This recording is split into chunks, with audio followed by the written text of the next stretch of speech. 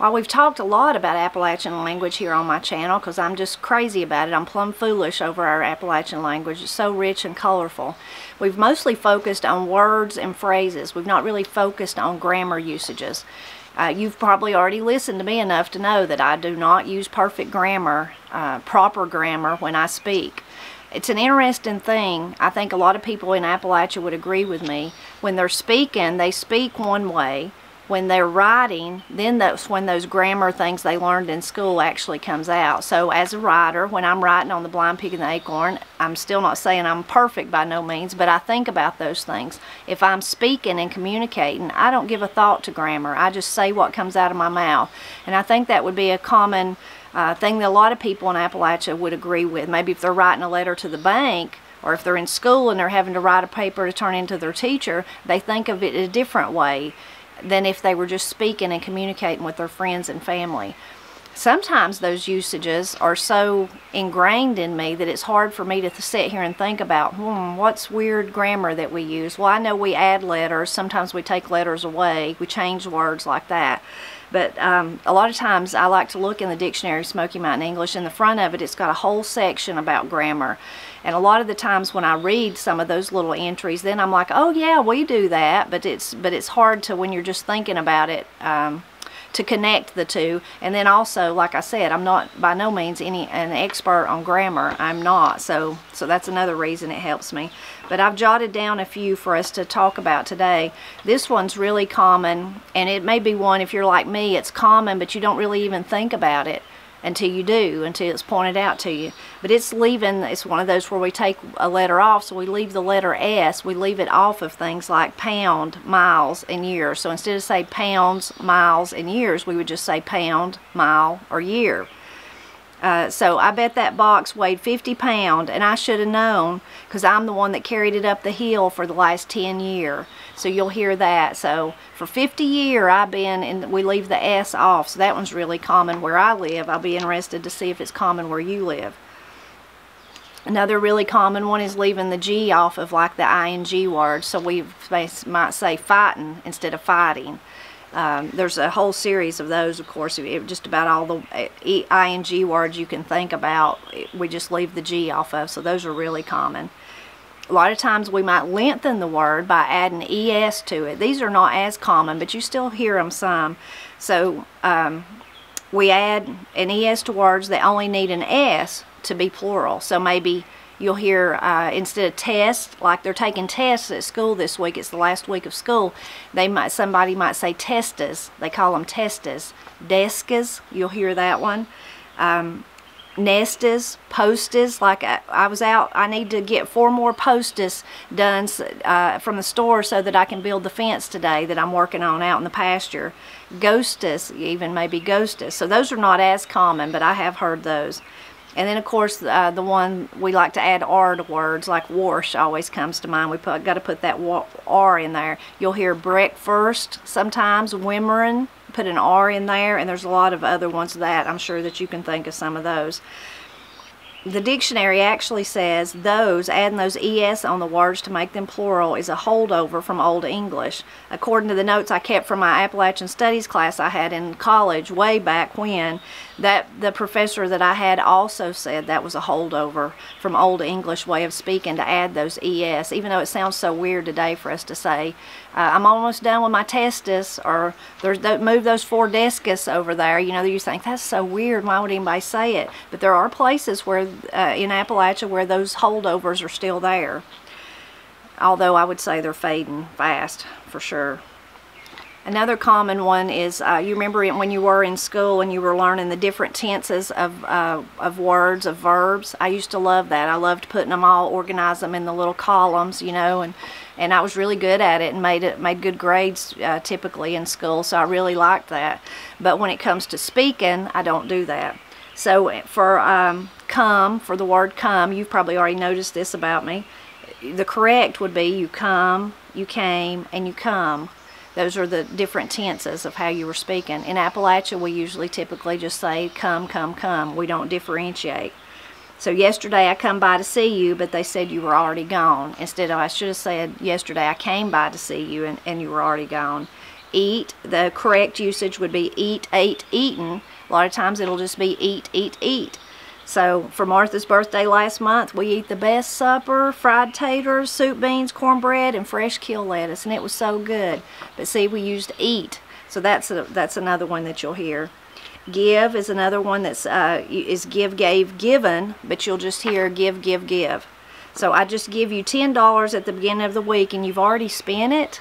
So give, instead of give, gave, given, it's just give, give, give run instead of run, ran, and run. It's just run, run, run. Yesterday I run over to Walmart's. I guess that's where I was when you come by. See, that one's common. Those are all common here where I live. I'll be interested to, to know if they're common where you live. And I'm guilty of all those. I, that's how I speak, all those. Now, if I'm writing them down, if I'm writing a blog post, if I'm writing a, a, a letter to someone, then I'm not going to use those. That's just how our brains how our brains work differently when we're actually putting pen to paper, typing, putting ink to paper, or speaking, communicating. Another common grammar usage is to use like to for almost or nearly. So here's an example we was coming across the mountain when it fell a flood and I like to have froze to death before we got back to the house.